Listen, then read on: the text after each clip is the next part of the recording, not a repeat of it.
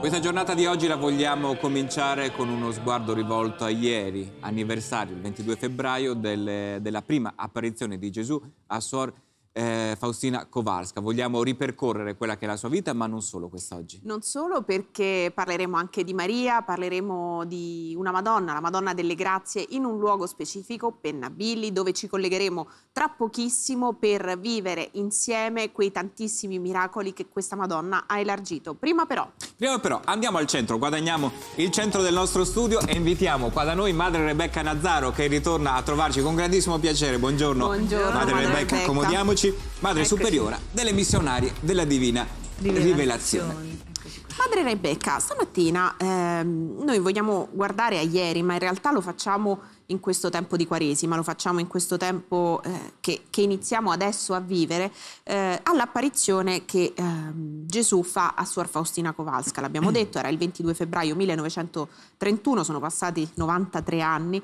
da eh, quel giorno, no, 92 anni da quel giorno in cui eh, Gesù affida a Suor Faustina l'immagine di un Gesù che è diverso da quello a cui siamo abituati, di un Gesù che è risorto, da cui eh, scaturiscono sangue e acqua e di un Gesù in cui tutti quanti noi possiamo confidare. Sì, sì, lui si presenta così a Suor Faustina con una modalità completamente nuova. Comunque lui riesce a spiegare a Suor Faustina che quello sguardo che lei vede di Gesù è lo stesso sguardo che Gesù aveva in croce. C'è una assimilazione tra eh, venerdì santo e quindi la passione di Gesù che si conclude con la sua morte e il, il dono che lui fa attraverso questa, questa apparizione di Gesù, il dono della misericordia. Certo, noi sappiamo che la misericordia è uno degli attributi di Dio. Già nell'Antico Testamento tante volte si parla della misericordia. Ad esempio il Salmo 135 lo ripete 26 volte perché eterna è la sua misericordia, celebrate il Signore perché è buono, perché eterna è la sua misericordia. Ma in questa eh, visione Gesù vuole sottolineare una particolarità della sua misericordia. Gesù non è solamente buono, misericordioso, accogliente, grazioso, beato, eh, padre, ma è mm, potenza. La misericordia è la potenza divina, quella potenza che pone un limite al male. Ecco perché Gesù desidera che quella coroncina poi della divina misericordia venga anche recitata per gli agonizzanti, per coloro che non hanno neanche più la possibilità di, di pregare e anche per coloro che sono lontano dalla misericordia di Dio. Quindi quei due raggi di acqua e sangue che rappresentano la purificazione e la salvezza penetrano l'anima della persona agonizzante attraverso la fede di colui o di colei che lo recita e quindi garantisce Gesù in questo eccesso della sua misericordia, garantisce la salvezza. Il dono della misericordia è un dono che continua a essere fatto e ricordavi appunto la- la- la- gli agonizzanti, insomma chi vive la sofferenza eh, a- al massimo livello in questa vita. Suor Faustina stessa fu, eh, visse eh, la sofferenza e visse la sofferenza di Gesù.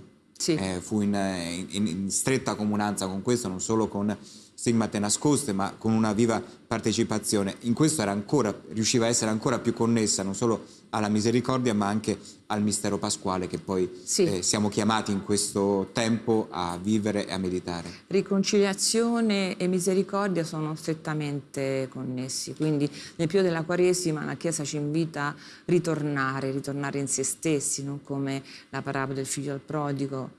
E nel Vangelo si dice rientrò in sé e disse padre, ho peccato contro il cielo e contro di te. Quindi momento così propizio della Quaresima è proprio quello di rientrare in noi stessi e di eh, abbracciare questo Padre che, che ci attende e che ci vuole donare la sua misericordia, che è tutto il suo amore. Quindi il peccato non è altro che, eh, se vogliamo prendere la parola dalla etimologia greca, non vuol dire altro che sbagliare strada, sbagliare mira. Il peccato ci, ci allontana dalla via del Signore, quindi è un ritornare con il sacramento della riconciliazione, quindi della confessione, è rimettersi sulla, sulla via giusta, un po' quando noi usiamo il navigatore che abbiamo perso la strada e allora ci, ci riconduce ecco, sulla strada giusta. È un po' questo, quindi è un tempo propizio dove eh, Gesù dice a Suor Faustina di mh, celebrare la sua misericordia con una preparazione per la festa della misericordia che è la domenica dopo Pasqua, la preparazione della novena in cui, che parte proprio dal venerdì santo e si conclude il giorno della seconda domenica di Pasqua. E quindi in questi nove giorni Gesù ci invita a meditare gli effetti di questa sua grande misericordia verso l'umanità. Lui dice la, la tavola della salvezza. Più di questo non posso, non posso fare prima del mio ritorno. Ecco, quindi abbracciate tutti questa divina misericordia, vivete nella grazia di Dio, ripetete Gesù confido in te, aiutate le anime a ritrovare la strada per il Signore, io che sono la via, la verità e la vita. Questo ci porta ad un luogo, se tu hai detto il Signore ci invita a tavola con Lui, ci sono dei luoghi dove sedersi a quella tavola e c'è un luogo a Roma che è Santo Spirito in Sassia che è un po' il cuore pulsante sì. della eh, spiritualità della Divina Misericordia qui a Roma, è a due passi da San Pietro e vogliamo portarvici con questo servizio.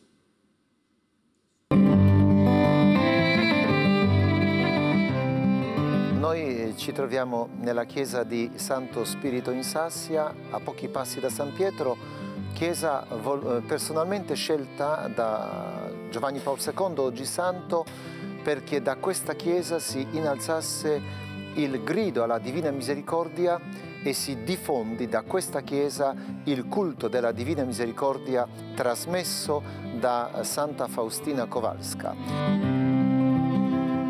E questa immagine eh, proprio in questa cappella è anche il dono proprio di Giovanni Paolo II che ha voluto eh, donarci proprio questa immagine ed è la prima immagine di, della Divina Misericordia benedetta da eh, Papa Giovanni Paolo II. Proprio durante la sua visita eh, 23 aprile 1995.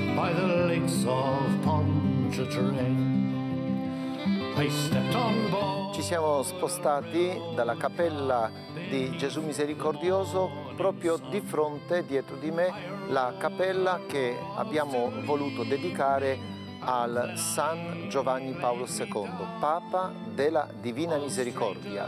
Ecco, la festa della Divina Misericordia di quest'anno coincide proprio con la visita che ha compiuto Giovanni Paolo II, possiamo dire, in questo suo tempio di misericordia, perché il Papa è venuto qui 23 aprile 1995.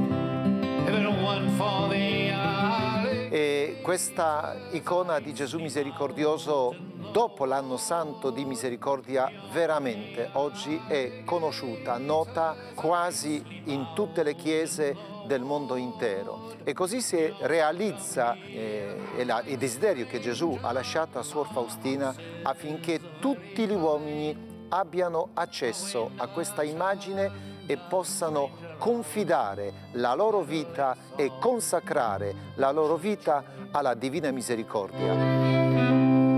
Quell'immagine che conosciamo, che conoscono veramente tutti quanti, che ci viene da Santa Faustina Kowalska, a sua volta fu ripresa in mano, eh, custodita e resa ancora più, eh, entrata insomma ancora eh, di più nel cuore di tutti grazie a un uomo, a un papa che a sua volta divenne santo. Eh è curioso vedere come le figure di santità continuino a raccontare un messaggio originario che è sempre lo stesso e che acquisisce e prende sempre maggiore forza. Sì, e poi queste sono le cosiddette dio-incidenze, perché lui comunque come sacerdote a Cracovia andava a trovare questo luogo dove si custodiva, già si venerava questa immagine, lui era molto devoto, quindi ha creduto fin dall'inizio a questa devozione a Divina Misericordia, l'ha portata con sé fino a quando ha potuto ecco, proclamare la, la, festa, la domenica della Divina Misericordia, fino a quando addirittura ha canonizzato eh, Santa Faustina. Quindi anche qui c'è tutto un legame, un piano di Dio personale, ecclesiale. Dobbiamo semplicemente lasciarci un po' guidare e saper leggere gli eventi che il Signore pone nella nostra storia. Quindi la misericordia, la devozione la divina misericordia ci invita ad essere legati al Signore, a non dubitare mai, pur nelle difficoltà, pur nelle tragedie, perché Suor Faustina riceve questo prima della Seconda Guerra Mondiale. Poi succederà eh, il disastro, come un disastro che stiamo vivendo nei nostri tempi, eppure Gesù ci dice che la Divina Misericordia pone un limite a questo male. Noi non siamo sopraffatti dal male. Questo male è limitato perché se muoiono i corpi non muoiono le anime, perché il bene più grande, il dono più grande è quello di salvare l'anima. E la, i due raggi del bianco e rosso indicano proprio questo. Dio garantisce, Gesù garantisce attraverso sua misericordia la salvezza delle anime. Madre Rebecca, Prima, mentre parlavi, eh, ci hai detto che nell'apparizione di cui stiamo parlando, quella di ieri, in qualche modo Gesù spiega a Suor Faustina come questa immagine, proprio questa che stiamo vedendo, eh, sia la stessa di Gesù sulla croce. Noi siamo abituati a vedere un Gesù sulla croce sofferente, siamo abituati a vedere un Gesù sulla croce eh, con una corona di spine o comunque con i segni della corona di spine. Prima abbiamo visto proprio un'immagine che passava dalla sindone al Gesù misericordioso, sì, dall'immagine sì. di Gesù sofferente all'immagine di Gesù risorto. È il mistero della Pasqua rappresentato in una sola immagine. Sì, perché quello, sgu- quello sguardo di Gesù è uno sguardo di compassione, non è uno sguardo di vendetta. Gesù dice sulla croce, Padre, perdona loro perché non sanno quello che fanno. Anche qui c'è la prima grande mediazione della salvezza.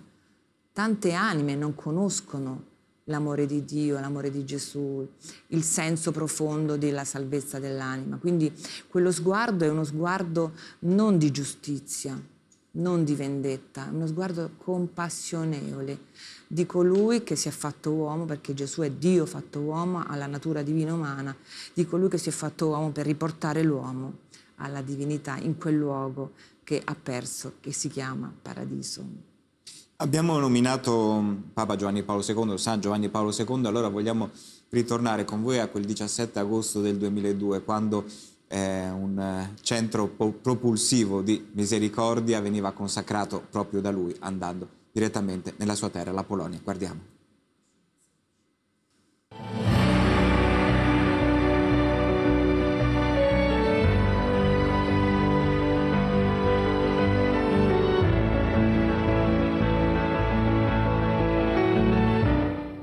Koniec tej uroczystej liturgii. Desidero dire che molti dei miei ricordi personali sono legati a questo luogo.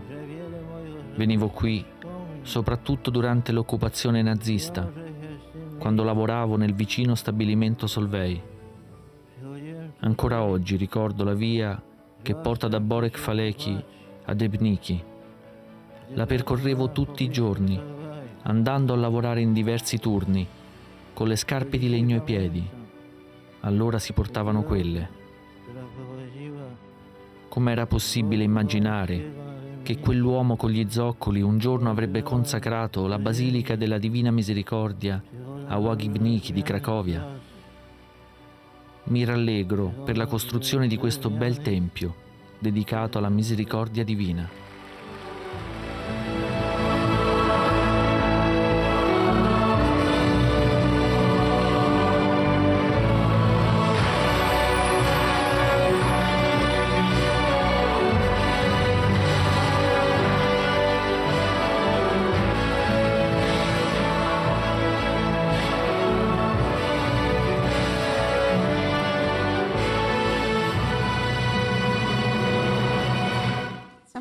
Colpo al cuore vedere Giovanni Paolo II, sì. ascoltarlo parlare, pensare a quel bambino che tante ne ha passate già da quando era bambino e, e, dire che lui stesso si stupisce del fatto che quella devozione che lui si porta dentro, quei passi che lui ha percorso, adesso la, li percorreranno in tanti, adesso sarà un santuario di sì. quella divina misericordia che, a cui lui ha sempre confidato. Sì, è un po', possiamo chiamarla anche un po' la parafrasi della nostra vita Noi compiamo dei passi, viviamo giorno dopo giorno e non ci rendiamo conto che la nostra vita è legata ad un piano di Dio, a un progetto di Dio, all'amore di Dio. Quindi queste grandi figure non fanno altro che testimoniare che come il Signore si è servito dei grandi, si serve anche dei piccoli. Ognuno di noi è chiamato ad essere strumento nelle mani del Signore per cooperare alla salvezza di tante anime, quindi la coroncina alla Divina Misericordia, il quadro di Gesù misericordioso, la novena alla Divina Misericordia, sono tutti eh, strumenti nelle mani di Dio dove Gesù può entrare e donarci tutte le sue benedizioni e le sue grazie. E le benedizioni, i doni, l'abbiamo detto, insomma, arrivarono anche nella vita di Santa Faustina, che però scrive nel, nel, suo diario né le grazie, né le rivelazioni, né le estasi, né alcun altro dono ad essa elargito la rendono perfetta, ma l'unione intima della mia anima con, con Dio. Dio. È sì. proprio questo forse il cuore sì. di ciò che possiamo apprendere, apprendere non solamente con il pensiero, ma apprendere veramente dall'esperienza di Santa Faustina. Sì, lei era molto sofferente, anche perché all'inizio ha dovuto superare anche l'incredulità di tutto quello che lei viveva, però l'ha salvata, diciamo così, e l'ha santificata l'obbedienza. L'obbedienza alla sua madre superiore, l'obbedienza ai suoi confessori, quindi pur nella sofferenza poi lei si rivolgeva di nuovo a Gesù e le diceva ma che cosa devo fare? E Gesù le ha sempre detto non temere, sarò io che organizzerò tutto e farò tutto. Tant'è vero che il suo confessore non voleva neanche esporre all'inizio il quadro perché era una cosa talmente nuova, una visione nuova, non si conosceva. Lei era comunque una suora che non era ancora passata, diciamo così, al vaglio dell'autorità ecclesiastica, quindi il sacerdote non voleva mostrare pubblicamente il quadro appena dipinto, però la provvidenza ha voluto che proprio nella, alla fine del giubileo della redenzione eh, il, il, sacerdote viene chiamato proprio in quella chiesa dedicata alla Madonna dove appunto lui dice e chiede di esporre il quadro e così arriva così la prima grande esposizione. Per dire tutto ecco è nelle mani del Signore, anche nella sofferenza il Signore ci conduce. È anche un modo per diffondere quella devozione, quella quell'amore misericordioso di cui stiamo tanto parlando. Un modo è anche quello di continuare a rivivere le, le persone che l'hanno fatta grande. Santa Faustina eh, dopo la sua morte, ovviamente abbiamo visto, è salita agli onori degli altari nonostante tutte le difficoltà della sua vita e le sue reliquie sono custodite non solo in Polonia ma un po' in giro come la devozione di cui si è fatta sì. promotrice. Vogliamo portarvi in un posto incantato, Santa Maria delle Vedute a Fucecchio dove sono custodite proprio alcune reliquie di Santa Faustina Kowalska.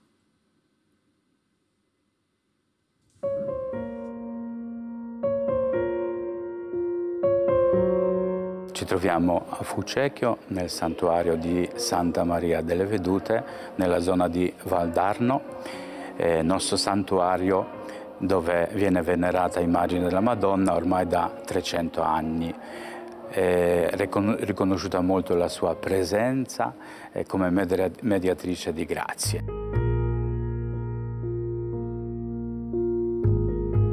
La mia vocazione è nata nel 1983, grazie senz'altro anche a questa eh, presenza no, di, di, di, Papa Giovanni Paolo II. No? Nel 1984 ci siamo con Padre Spirituale andati proprio nel santuario eh, delle suore della Divina Misericordia a Cracovia e là abbiamo conosciuto questa devozione ancora locale verso la Divina Misericordia e la presenza, eh, questa figura rappresentativa di Suor Faustina, legata molto come apostola della Divina Misericordia. E là è nata questa mia esperienza eh, personale, spirituale, verso la Divina Misericordia, che l'ho portata come mia esperienza anche sacerdotale in tutte le parrocchie dove ho svolto la mia missione pastorale. Vediamo qui al centro, no? questo grande dono per la nostra comunità, frutto delle nostre, delle nostre preghiere, della nostra devozione alla Divina Misericordia, questo dono che ci è stato donato dalle suore della congregazione delle, della Madre della Divina Misericordia da Cracovia.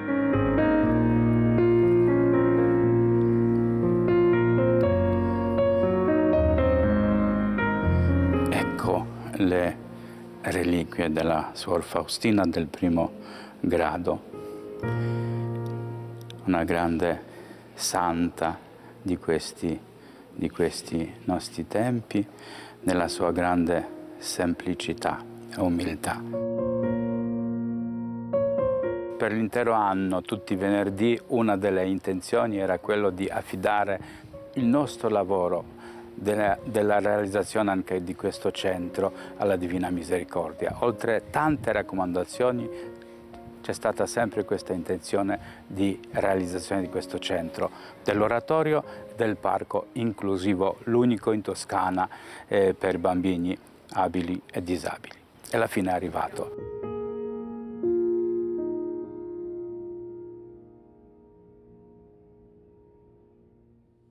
Oggi in viaggio per l'Italia e per il mondo stiamo raccontando, stiamo parlando di quella misericordia che ci arriva dalle eh, apparizione di Gesù a Santa Faustina Kowalska.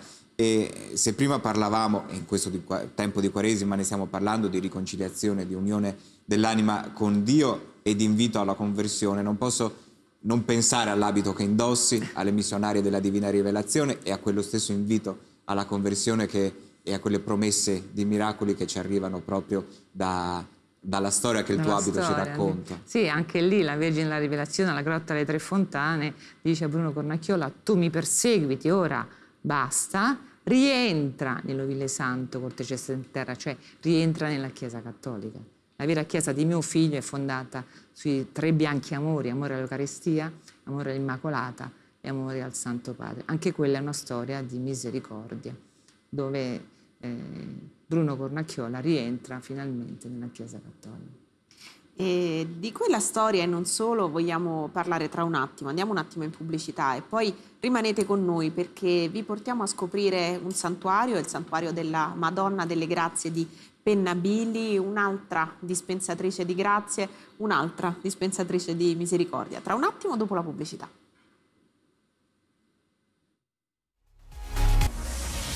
Questo tempo di Quaresima è un tempo propizio, propizio e infatti abbiamo parlato, stiamo parlando di misericordia con Madre Rebecca Nazzaro, Madre Superiora delle Missionarie della Divina Rivelazione e vogliamo anche eh, andare indietro nel tempo a un 23 di febbraio di appena qualche anno fa, anzi qualche secolo fa, e vogliamo portarvi a Pennabilli e farlo con Sua Eccellenza Monsignor Andrea Turazzi, de, vescovo della diocesi di San Marino Montefeltro, che dovrebbe essere collegato con noi. Buongiorno Eccellenza. Buon mattino a tutti. Assolutamente, buon mattino, di buon mattino, insomma, eh, di nome e di fatto. Allora, vogliamo andare a, dicevo, qualche anno fa, in particolar modo nel 1517 e nel 1523, un eh, momento eh, in cui a Pennabilli, siamo in provincia di Rimini, eh, accadde un evento prodigioso che ebbe come protagonista la Madonna. Si parla di, di protezione in questo caso, di un eh, manto che come ha protetto allora continua a proteggere. Sì, abbiamo questo segno di particolare presenza eh, della Vergine Maria sulla, no, sul nostro territorio. La diocesi è abbastanza eh, grande dal punto di vista geografico, anche se attualmente eh, gli abitanti a causa dell'immigrazione sono mh, mm, molto diminuiti, circa un 70.000 abitanti, è una diocesi un po' singolare perché eh, ehm, comprende eh, nel Montefeltro anche la Repubblica di San Marino, eh, dove c'è la concentrazione più grande della popolazione. E con alcuni amici si è fatto un tentativo, forse eh, spero che non sia così una forma di campanilismo, ma vedere di enucleare quello che può essere eh, il timbro della spiritualità tipica di queste zone. Eh, siamo nel centro dell'Italia e gli elementi eh, che, diciamo, che possono caratterizzare la spiritualità di questa terra eh, c'è sicuramente la presenza di tanti movimenti religiosi, spirituali, eremiti. Attualmente, ad esempio, abbiamo sette monasteri di clausura, eh, due esperienze di vita eremitica, ma fra gli elementi sicuramente uno, un elemento determinante è la presenza di Maria. E vi sono sette eh, santuari a lei dedicati. Eh, so che in uno in particolare eh, voglio riferire questo fatto.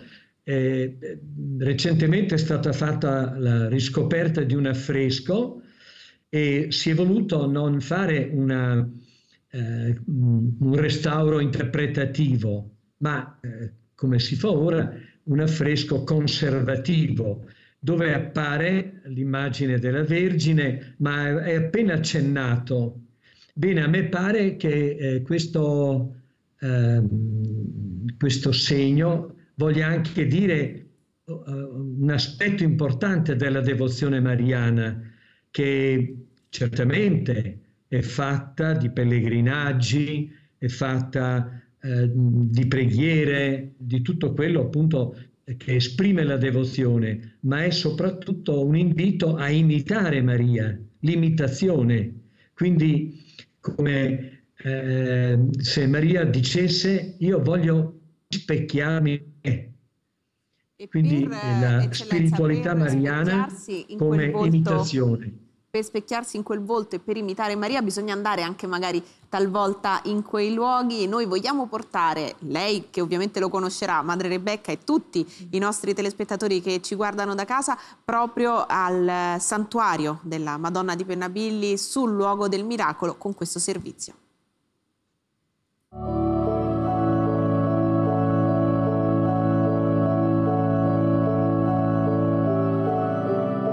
Siamo a Pennabilli, in provincia di Rimini, nel cuore della Valmarecchia, di fianco a quello che è chiamata la chiesa di Sant'Agostino, ma anche santuario della Beata Vergine delle Grazie o chiesa di San Cristoforo. Ci sono due apparizioni, il 23 febbraio del 1517 e il 23 febbraio del 1522, quando la Madonna apparendo in cielo di fatto eh, sbaragliò le, le, le i nemici che assediavano Penabilli, eh, guidati da Giovanni delle Bande Nere ad opera dei, dei fiorentini.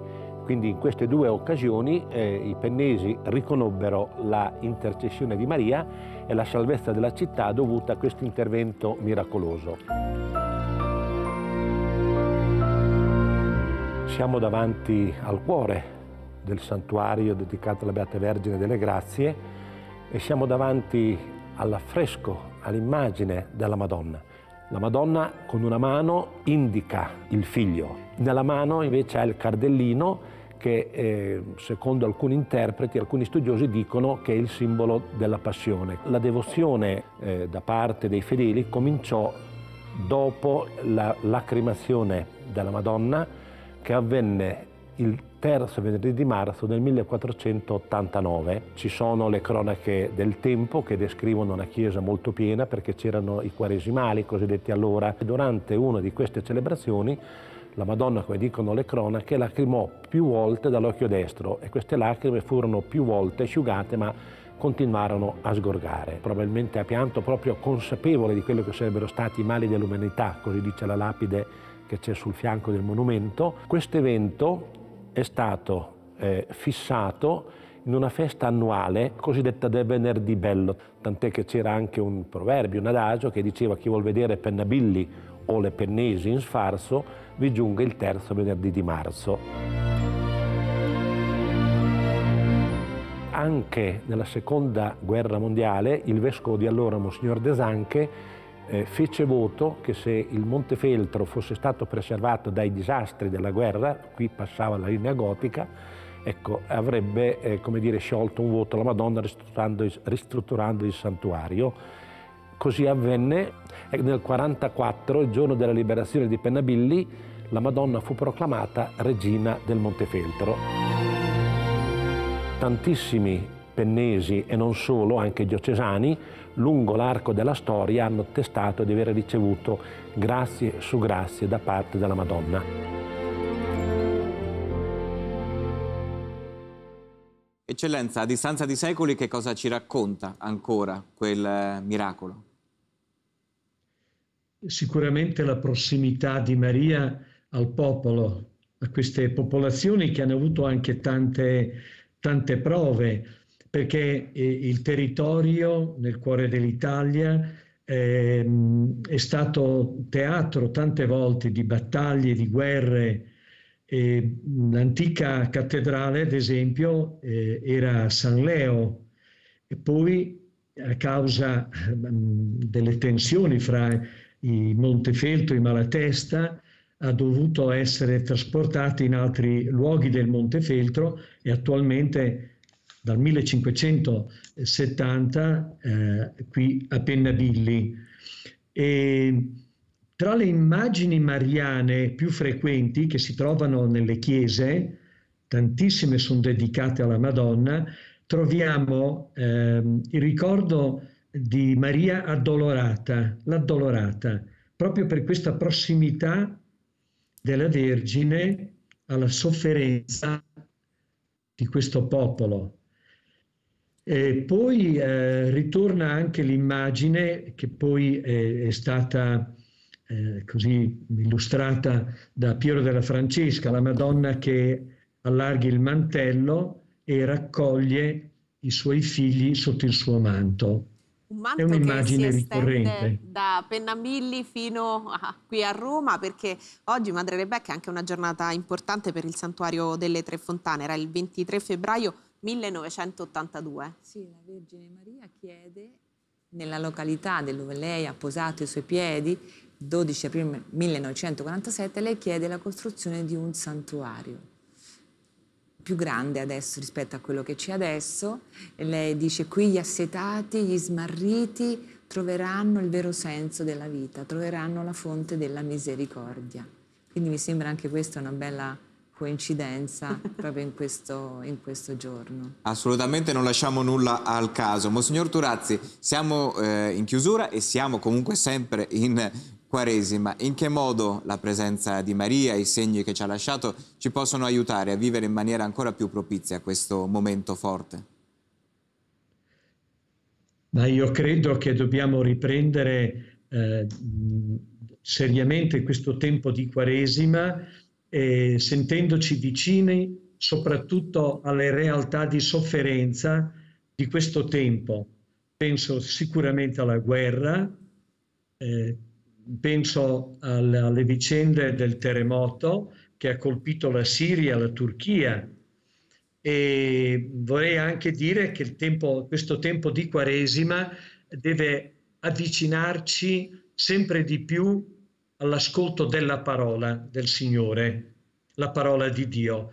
E c'è qui da noi un'immagine della Madonna che tiene sulle ginocchia non Gesù bambino, il libro, il libro delle scritture. Mi piace molto questa immagine perché, ehm, come dire, eh, indica eh, eh la strada eh, migliore anche, più, più sicura per noi, per in qualche modo mettere al mondo Gesù, che è vivere la sua parola.